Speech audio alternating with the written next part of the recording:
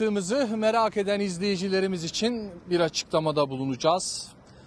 Burada görmüş olduğunuz enkazlar, ağır hasarlı binaların yıkım çalışması sonrası haftalardır burada bekletiliyordu. Biz bu konuyu vatandaşlarımızdan gelen yoğun şikayetler üzerine birkaç kez dile getirdik. Lakin ne bu yıkımı gerçekleştiren firmalardan bir açıklama geldi ne de bu firmaları denetleyen yetkililerden herhangi bir açıklama gelmedi. Biz de düşündük hani vatandaşımızın toz içerisinde kalmasını nasıl engelleriz ve bu enkaz yığınlarını buradan nasıl kaldırabiliriz? Aklımıza tek bir çözüm yolu geldi.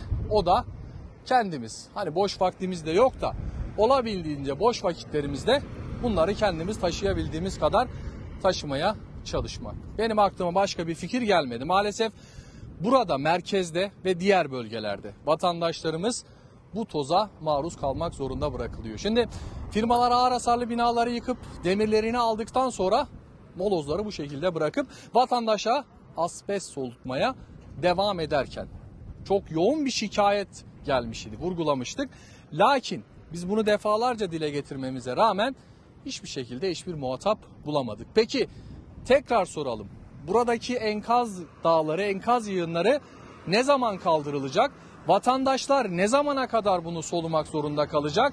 Yani bütün bu sorulara biz cevap arıyoruz ama maalesef hiçbir şekilde cevap bulamıyoruz. Biz de kendimiz kaldırmaya, bu enkazları kaldırmaya, gücümüz yettiği ölçüde kaldırmaya başladık. Süreç bakalım nasıl ilerleyecek ama şöyle bir gerçek var. Bu şehir insanı yani bu kadar acıyı yaşayan insanlara 6 aylık bir süreçte gelinen son nokta bu olmamalıydı.